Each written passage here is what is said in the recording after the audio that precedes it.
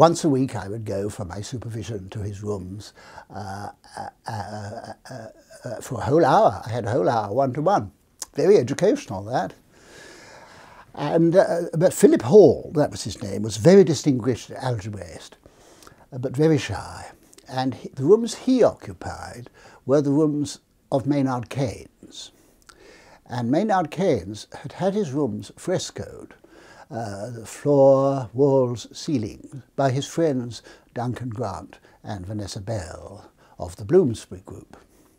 Now, the Bloomsbury Group those particular painters, they had a very particular palette. The Bloomsbury colours, not everybody likes them. I have to be careful what I say now because I am in fact a paid up member of the Bloomsbury Supporters Group. There was a, a country house in, near Brighton called Charleston where they all lived and uh, the, the, it's it decorated by them, what, like Philip Hall's rooms uh, in all these terrible colours. But Philip's room, Philip hated what they'd done to his room. I, the colours I always used to call uh, spinach and sick. Uh, uh, uh Uh, uh, uh, I, am more appreciative of the Bloomsbury artists now, I may say. They had also painted a series of naked male nudes, uh, which were said to represent the Cambridge triposes, the Cambridge examinations. And Philip hated all this. Well, since it was Maynard Keynes's rooms, and since it was painted by these distinguished painters, there was no question of, of, of, of whitewashing it over. but what he did was he bought a series of wardrobes, and his, which he positioned so that you couldn't see most of these terrible naked male figures.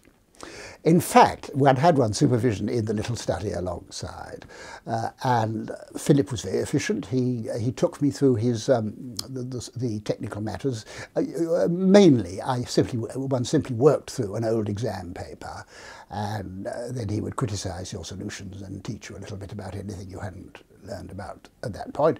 And so that was, but with Philip, uh, he then was a man, man of immense reading and, uh, and knowledge about all sorts of things. And he would lend me, he would talk to me about this, that and the other, and he would lend me books about literary works and so forth. I, he did lend me a book about, called The Apes of God by Wyndham Lewis, which is a, a thinly disguised attack on the whole of Bloomsbury and all its works. He lent me that, but he lent me lots of things. Uh, he lent me mathematics books, but he also lent me sort of general books and novels. He was a very cultivated person, but he was extremely shy. He celebrated. I it. Um, I realised within a year or two, although his behaviour was, of course, always perfectly correct, that he was gay. Um, and uh, but what I hadn't realised was that he was a bastard. Uh, he lived out at Histon with what were called his aunts, three of them.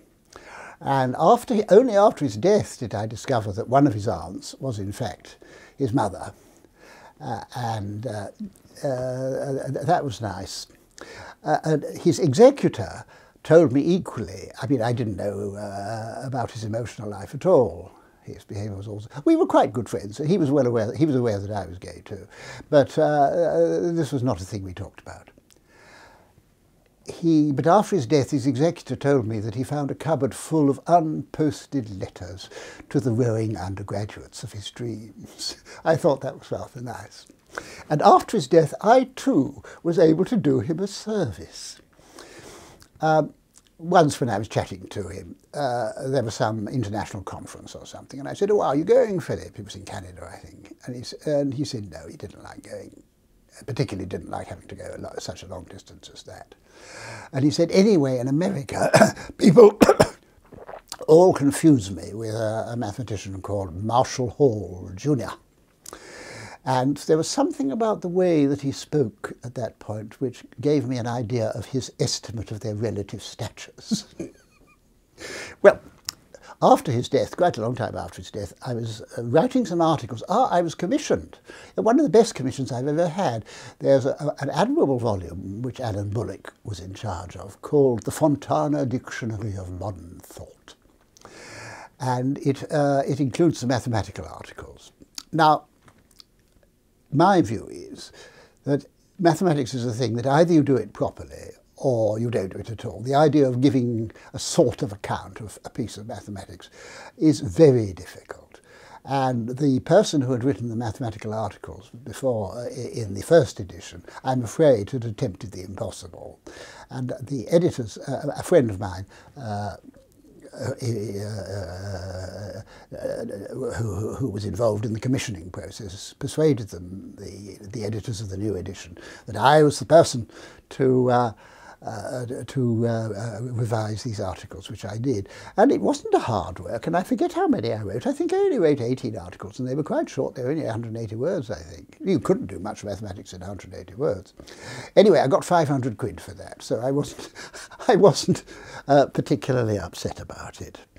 Now, Philip Hall's most celebrated theorem, uh, curious enough, uh, is called Hall's marriage theorem and it deals with actually it's it's the reason it's uh, a, a, an important theorem is it seems as it were just a trivial little interesting but not important. It turns out it's it's about what it's about. You've got a group of chaps and you invite each of them to write down a list of the girls they would be willing to marry. Uh, you then ask, are, what conditions do you have to impose on these lists uh, if it's going to be possible to marry each boy to one of the girls that's on his list. You know, if they all choose the same girl, obviously, you know, the task can't be done. Well, it turns out that there's a very simple condition that will ensure that this can be done, and it was Philip who discovered this condition, and it's known as Hall's marriage theorem.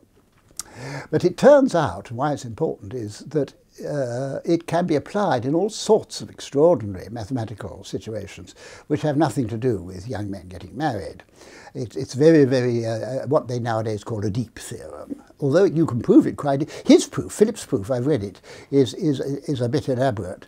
There are now extremely sli simple, slick proofs of it. Anyway, uh, when I was doing my revision for the Fontana Dictionary of Modern Thought, I resorted to the Encyclopaedia Britannica to check up a few points that I need to get clear. And there in there, what they do they call it the Macropedia? They have a series of rather long articles at the end.